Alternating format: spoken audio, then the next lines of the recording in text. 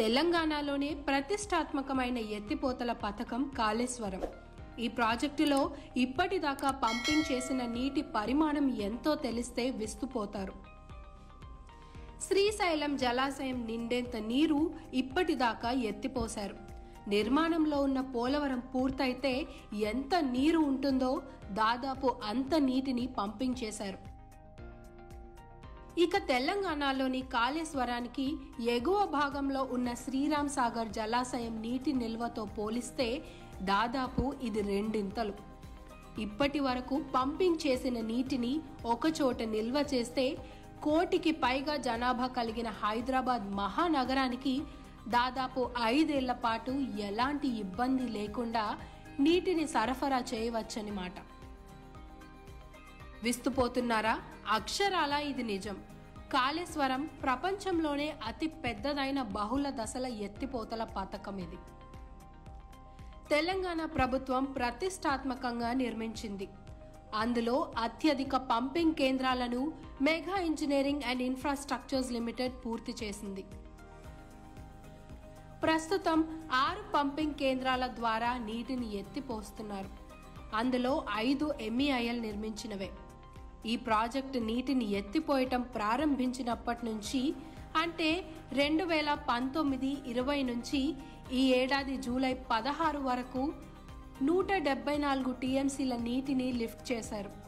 ప్రధానమైన గాయత్రి పంపింగ్ కేంద్రం నుంచి శ్రీరామ్ సాగర్ ఎగువ కాలువకు ఈ నీటిని అందించారు.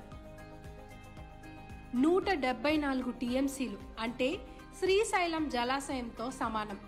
ఈ జలాశయం నికర నీటి నిల్వ సామర్థ్యం నూట డెబ్బై ఎనిమిది టీఎంసీలు.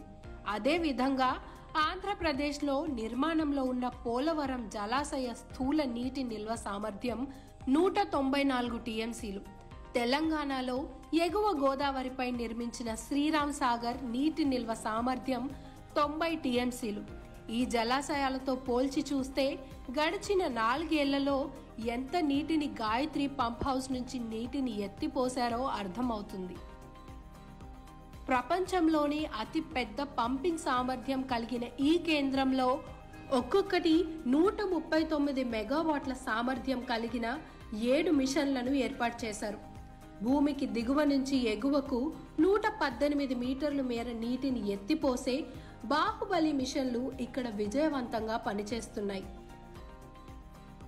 మొదటి ఏడాది అరవై ఆరు టీఎంసీలు రెండవ ఏడాది ముప్పై ఎనిమిది టీఎంసీలు మూడవ ఏడాది ముప్పై ఆరు టీఎంసీలు నాలుగో ఏడాది ముప్పై ఒక్క టీఎంసీలు ఎత్తిపోశారు. ఈ ఏడాది ఇప్పటిదాకా పదమూడు రోజుల్లో దాదాపు నాలుగు టీఎంసీల నీటిని పంపింగ్ చేశారు మొత్తం మీద నూట డెబ్బై నాలుగు టీఎంసీల నీరు శ్రీరామ్ సాగర్ వైపు అంటే దిగువ నుంచి ఎగువకు పారించారు. సాధారణంగా కాళేశ్వరం ఎత్తిపోతల పథకం నుంచి పూర్తి స్థాయిలో ఏడాదికి రెండు వందల నలభై టీఎంసీలను పంప్ చేయవచ్చు. అంటే అంత నీటిని ఇప్పటి వరకు ఏ సంవత్సరం కూడా పంపింగ్ చేయలేదు. ఎందుకంటే గత నాలుగేళ్ళలోనూ తెలంగాణలో ముఖ్యంగా కాళేశ్వరం ఆయకట్టు పరిధిలో మంచి వర్షాలు పడ్డాయి. గతేడాదైతే గడిచిన వంద సంవత్సరాల్లో ఎన్నడూ లేనంతగా భారీ వరదలు బీభత్సం సృష్టించాయి. అందువల్ల నీటి అవసరాన్ని బట్టి పంపింగ్ కేంద్రాలను రన్ చేసి నీటిని ఎత్తిపోస్తుంటారు. ఆ విధంగా గాయత్రి నుంచి ఇప్పటిదాకా నూట డెబ్బై నాలుగు టీఎంసీలు పంపింగ్ చేయడం అనేది ఎత్తిపోతల పథకాల్లో రికార్డుగా చెప్పవచ్చు. దేశంలో ఇంతవరకు ఏ ఒక్క కేంద్రం నుంచి నాలుగేళ్ళ కాలంలో అంత నీటిని పంపు చేయలేదు. అంటే ఏడాదికి సరాసరిన నలభై నాలుగు టీఎంసీలను పంపు చేయటం అత్యధికమని చెప్పుకోవాలి.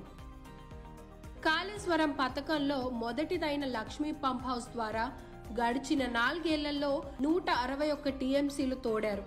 ఇక్కడ ఒక్కొక్కటి నలభై మెగావాట్ల సామర్థ్యంతో పదిహేడు మిషన్లను ఏర్పాటు చేశారు. రెండు వేల పంతొమ్మిది జూలై ఆరు తేదీ నుంచి పంపింగ్ ప్రారంభించగా మొదటి ఏడాది యాభై ఏడు రెండవ ఏడాది ముప్పై ఆరు మూడవ ఏడాది ఇరవై ఎనిమిది నాలుగవ ఏడాది ఐదు టీఎంసీల చొప్పున పంపింగ్ చేశారు. గతేడాది భారీ వరదల వల్ల అసలు నీటిని తోడాల్సిన అవసరమే రాలేదు.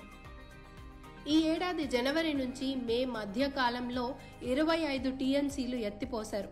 వాస్తవానికి జనవరి మే మధ్య కాలంలో నీటిని పంప్ చేయటం ఆనవాయితీ కాదు. అయితే అవసరాల రీత్యా నీటిని లిఫ్ట్ చేశారు. ఇక ఈ సీజన్లో జూలై ఒకటి నుంచి ఇప్పటిదాకా ఎనిమిది టీఎంసీలు తోడారు. అంటే దీన్ని బట్టి ఆయకట్టు తాగునీటి అవసరాల దృష్ట్యా పంపింగ్ కేంద్రాలను వినియోగిస్తున్నారు. ఈ లక్ష్మీ పంప్ హౌస్ ప్రాముఖ్యత ఏంటంటే ప్రాణహిత నది నుంచి నీటిని గోదావరిలోకి తరలించడం. సాధారణంగా గోదావరికి ఎంత పెద్ద కరువు వచ్చినా ప్రాణహితలో మాత్రం నీటి కొరత ఉండదు. ఈ ఏడాది అదే విషయం కళ్ళకి కట్టినట్టు కనిపిస్తోంది.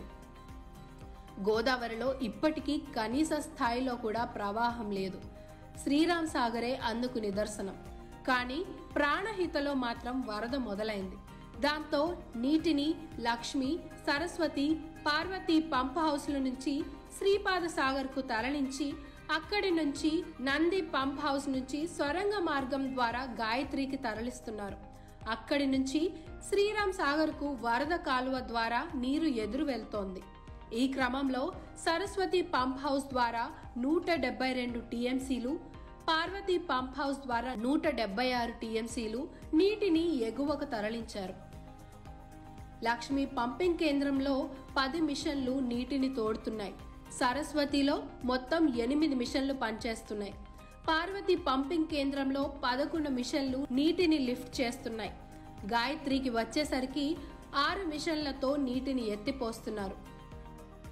ఈ విధంగా తెలంగాణలో శ్రీరామ్ సాగర్ పరిధిలోని ఆయకట్టుకు సాగునీటిని ప్రజలకు తాగునీటిని అందించడంలో ఈ పంపింగ్ కేంద్రాలు విజయవంతమయ్యాయి.